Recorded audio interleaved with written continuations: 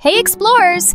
Triangles, circles, squares maps are full of them. Let's see why. Every map tells a story with shapes. Continents fit like puzzle pieces. Squares mark city blocks. Circles show parks and lakes. Even mountains look like triangles from above. Thousands of years ago, about 2,700 years, by one famous example, mapmakers drew the world on clay tablets. Today, digital maps use millions of tiny square pixels to show roads and rivers. Try this.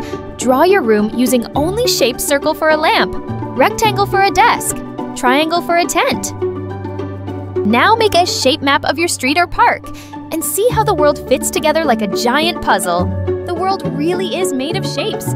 Download free shape map printables at educolorpress.com and keep exploring with Adventures with Ava. Adventure never stops, explorers.